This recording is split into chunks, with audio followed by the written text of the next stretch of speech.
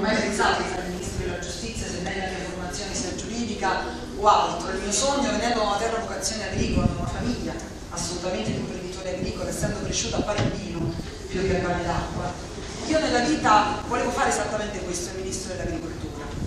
Però quando mi sono approcciata all'agricoltura, io non ho pensato alla destra e alla sinistra, e ancora oggi io non penso alla destra e alla sinistra. Io penso alle azioni di consenso, io penso alla politica che è a servizio del territorio, della gente, degli agricoltori. Io ho pensato ed agisco ogni giorno come se fossi un imprenditore agricolo esattamente come mia nonna. E questo mi consente